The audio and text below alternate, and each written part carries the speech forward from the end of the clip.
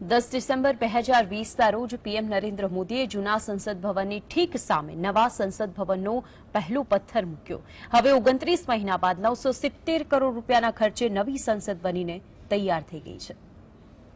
જૂના સંસદ ભવનની ઠીક સામે નવી સંસદ ભવનનું નિર્માણ થયું છે. જૂની બિલ્ડિંગનો આકાર ગોળ છે જેને નવા ભવનના આર્કિટેક્ટ બિમલ પટેલે જગ્યાનો પૂર્ણ ઉપયોગ કરીને તેને ત્રિકોણનો શેપ આપ્યો છે.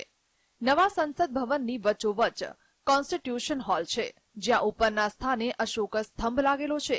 કોન્સ્ટિટ્યુશન હોલની એક તરફ લોકસભા અને તેની સેરેમોનિયલ એન્ટ્રેસ આવેલું છે, જ્યારે કોન્સ્ટિટ્યુશનલ હોલની બીજી તરફ રાજ્યસભા અને તેની સેરેમોનિયલ એન્ટ્રેસ છે. કોન્સ્ટિટ્યુશનલ હોલની ત્રીજી તરફ સેન્ટ્રલ લોન્ચ છે, જ્યાં ખુલ્લી જગ્યા પણ છે. નવા સંસદ ભવનમાં પબ્લિક એન્ટ્રેસમાંથી દાખલ થતા જ એક ગેલેરી જોવા મળશે. અહીંયા ભારતના આર્ટ અને ક્રાફ્ટની સજાવટ તેમજ શ્લોક લખેલા છે. આ ગેલેરીમાંથી સીધા આગળ વધીને તો કોન્સ્ટિટ્યુશનલ હોલ પહોંચી શકાય છે, જે બિલ્ડિંગનું સેન્ટર છે. અહીં ભારતનું બંધારણ અને તેની ડિજિટલ કોપી રાખેલી છે. વિઝિટર તેના દરેક પેજ પ્રમાણે વાંચી શકે છે. હોલમાંથી એક માર્ગ લોકસભા તરફ જાય છે, બીજો માર્ગ રાજ્યસભાની તરફ જાય છે, જ્યારે ત્રીજો માર્ગ સેન્ટ્રલ લોન્ચ તરફ જાય છે. લોકસભા હોલમાં જવા માટે એક લોબી એરિયા છે. અહીંયા રહેલા ગેટમાંથી જતાની સાથે જ તમે લોકસભા હોલમાં પહોંચી શકો છો. લોકસભાની થીમ રાષ્ટ્રીય પક્ષી મોર પ્રમાણે રાખવામાં આવી છે. આ હોલ હાઈ ક્વોલિટી ઓડિયો વિડીયોથી સજ્જ છે. દરેક ડેસ્ક પર ઇલેક્ટ્રોનિક્સ ડિવાઇસ લાગેલા છે. લોકસભાના હોલમાં આઠસો ઇઠ્યાસી સાંસદોના બેસવાની વ્યવસ્થા છે.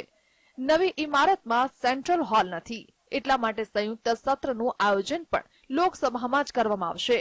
રાષ્ટ્રીય ફૂલ કમલની જેમ રાજ્યસભાની ડિઝાઇન રાખવામાં આવી છે.